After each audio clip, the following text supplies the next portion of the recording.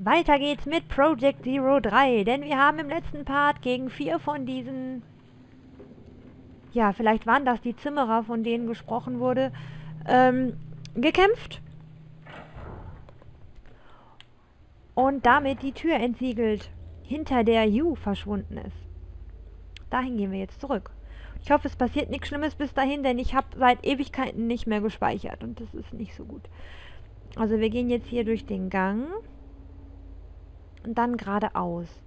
Ach so, ja, immer geradeaus, das geht ja.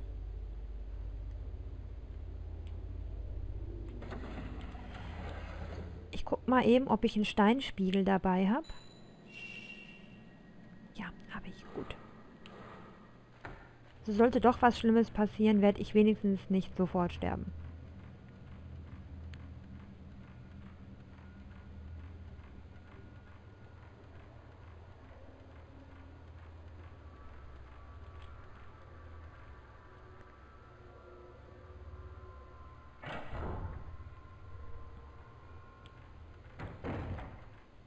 Denn ich weiß nicht, wie es euch geht, ich sterbe einfach ungern. In echt und im Spiel und überhaupt.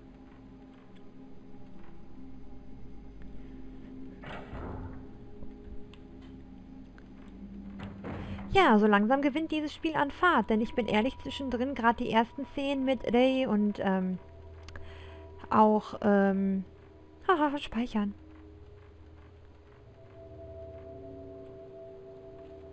Auch ähm, die Szene in ihrer Wohnung, das war irgendwie immer nicht so super mega spannend. Aber so langsam wird das was.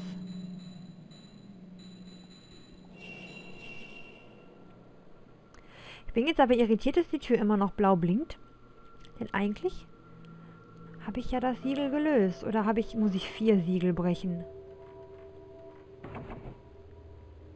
Dicke Stränge heiligen Seils und Papiers überziehen die Tür, die fest verschlossen wurde.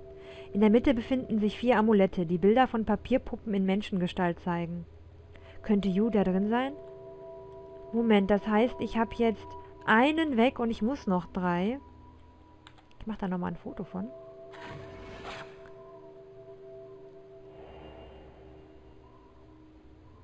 Auf dem Foto sieht man irgendwas. Ach, ich muss vier von diesen graugesichtigen Männern besiegen. Das kann ja lustig werden.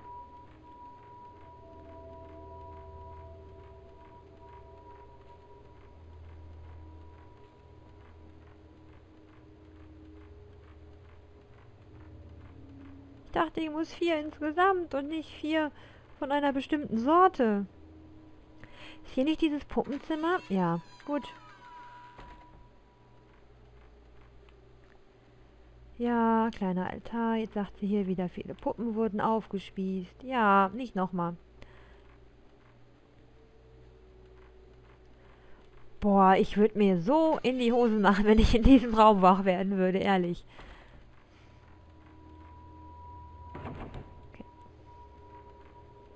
Ja, ich glaube, da war ich schon. Ich habe schon probiert, ob die aufgeht, aber ich war mir nicht mehr sicher.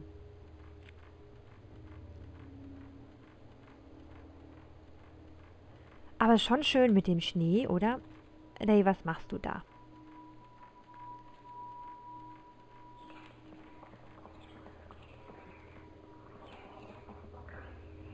Was ist das denn?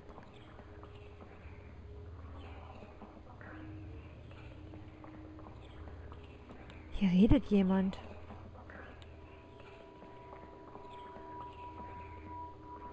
Ein in Stoff gewickeltes Holzstück ist mit heiligem Seil an den Baum im Innenhof angebunden. Etwas, das wie eine Art Fluch aussieht, steht in kleiner Schrift auf dem Stoff. Die Strohpuppen auf den Bambusspießen rings um den Baum scheinen im Wind zu stöhnen. Das ist nicht genug, sagte der Mann, der dort stand. Was ist nicht genug?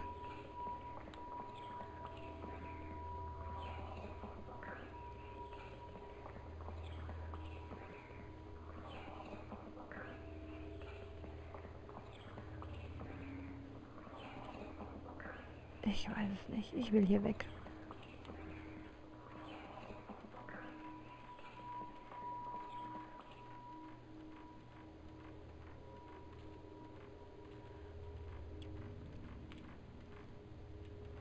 Meine, diese winzigen Türen. Okay, die ist zu. Oh. Oh, die ist leider nicht zu. Okay.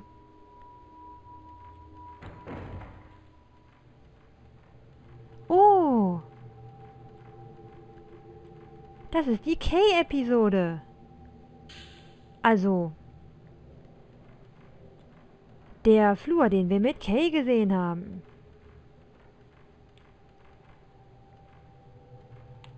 Das ist interessant, es werden immer wieder andere Räume offen. Hier ist der Projekte, das ist gut. Wir haben ja einen Film gefunden, und zwar Opfersäule. So. Da, geh da hin, dass wir es sehen können. Hallo.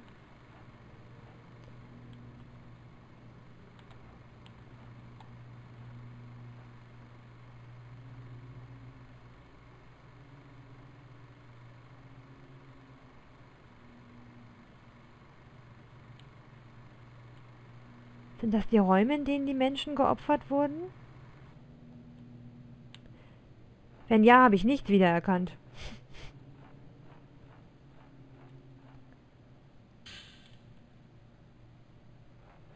Aber ich bin froh, dass man hier immer noch so viel Gedöns findet.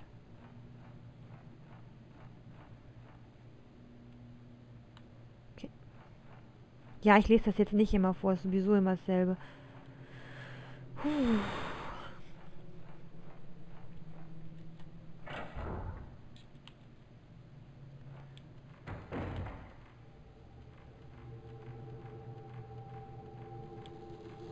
Oh Gott, wer ist das denn? Ich renne da auch noch rein.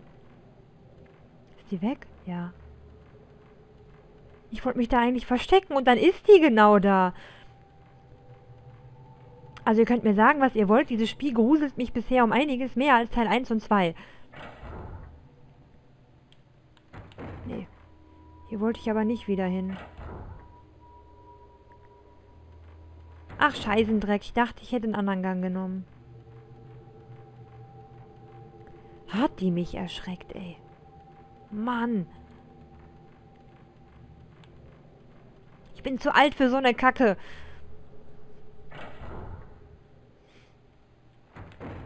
Ja, ich dachte, ich wäre hierher gekommen. War ich aber nicht. Gehen wir jetzt hier durch.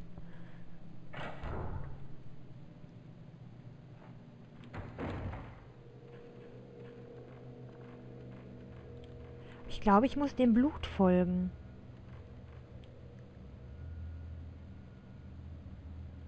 Das hättest du jetzt nicht so betonen müssen, weil ich sehe auch so, dass da Blut ist.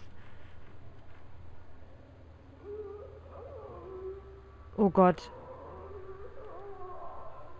Die Tür ist festgeschlossen. Es fühlt sich so an, als ob jemand auf der anderen Seite dagegen drückt. Die Blutflecken auf dem Boden setzen sich unter der Tür fort. Ih.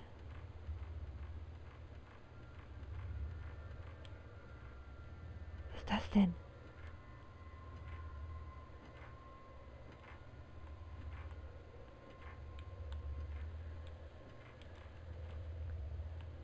Und wie kommt die da hoch?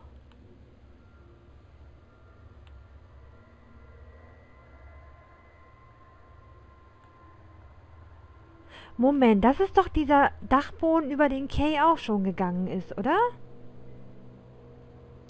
gucken mal auf die Karte. So, hier sind wir jetzt. Stock wechseln. Ja, genau. Vielleicht ist die Tür ja jetzt offen. Da müssen wir jetzt hoch.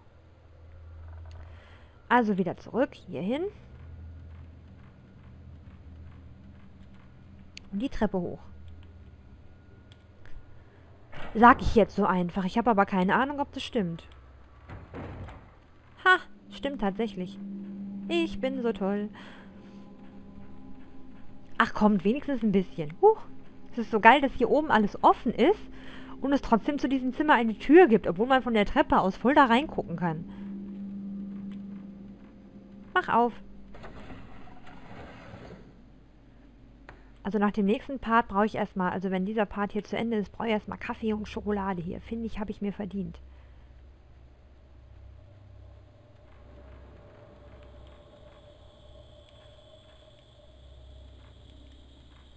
Schon wieder so ein fieses Geräusch, aber es ist niemand hier. Da oben sieht immer aus, wenn da jemand stehen würde.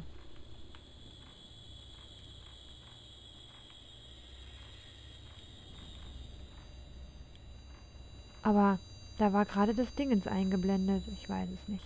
Ich gehe da jetzt rein.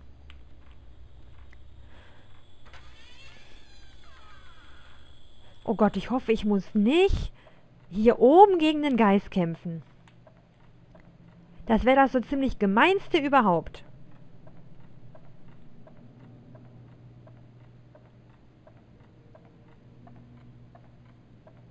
Also wenn ich Entwickler wäre, ich würde es machen.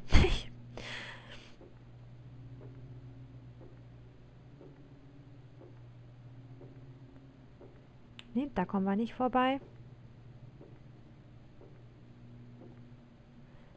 Ja, die Sänfte, die haben wir vorhin. Haha, vorhin.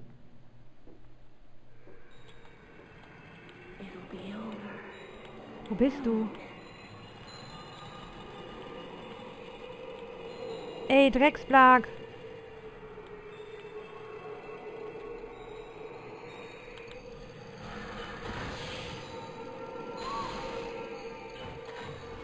Fuck you! Und ich sag auch noch, ich würde das machen. Ist ja witzig.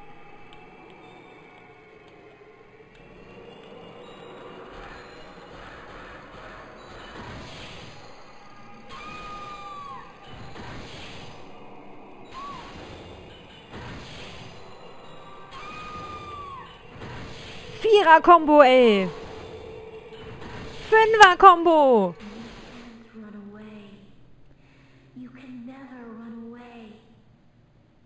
Und schon tot.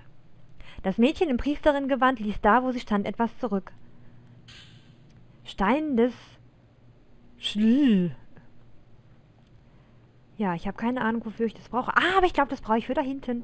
Boah, wie geil ist das bitte? Fünfer-Kombo. Ich muss immer morgens spielen morgens um. Spät haben wir es jetzt? Halb acht. Nee, ich muss doch da lang.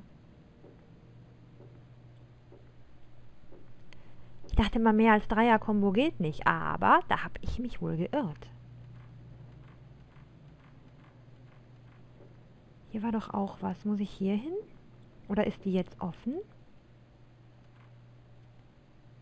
Ah, ich muss tatsächlich hier hin. Ich habe aber keine Ahnung mehr, wie das funktioniert.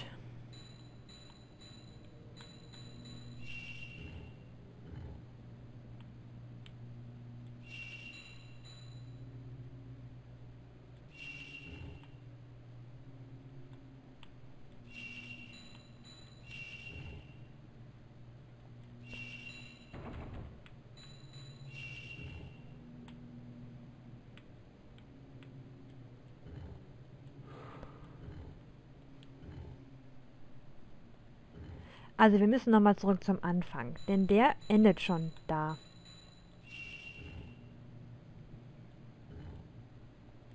Nein.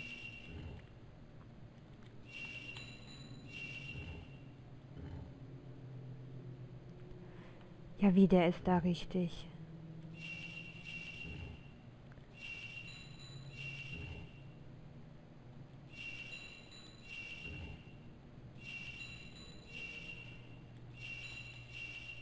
Falls es euch interessiert, ich habe das Prinzip von diesen Steinen noch nicht verstanden.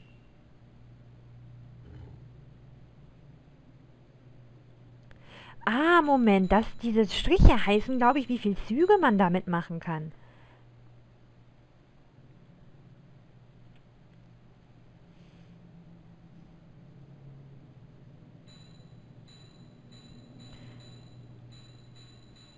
Also dann schieben wir den dahin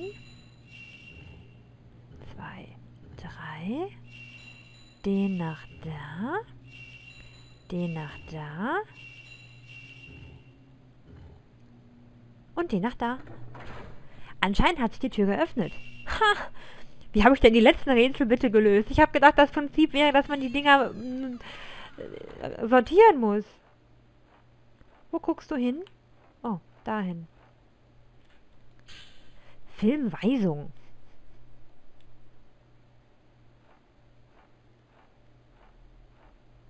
Also so eine Speicherkamera wäre ja jetzt mal nett.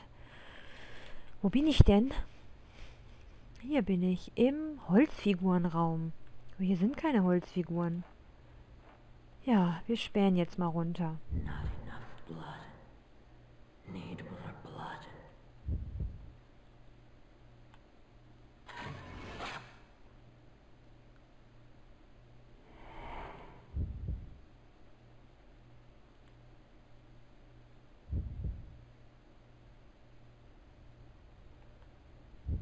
Sie braucht mehr Blut. What the fuck?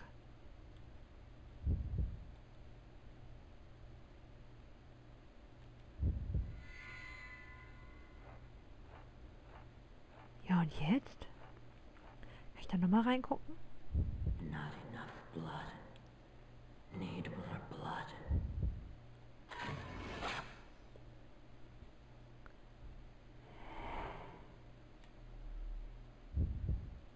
Ich erwarte, dass die hochguckt und uns angreift oder so, aber tut sie nicht.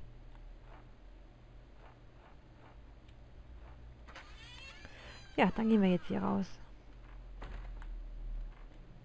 Keine Ahnung, was mir das jetzt gebracht hat.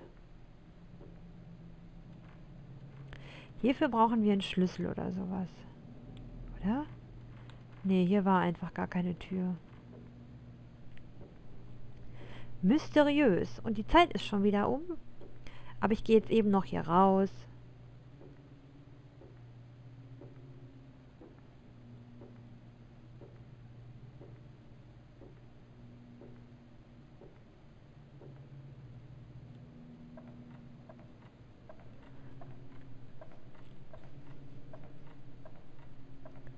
Könnt ihr euch ein bisschen Race Po ansehen.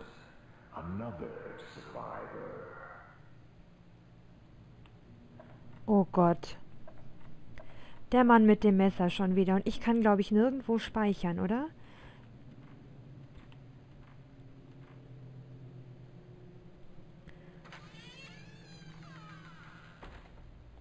Wo ist der nächste Save Point? Ja, seht ihr, hier ist nirgendwo was. Es gibt so unglaublich unfair wenig Speicherpunkte in diesem Spiel. Da ganz unten ist einer und da ist einer.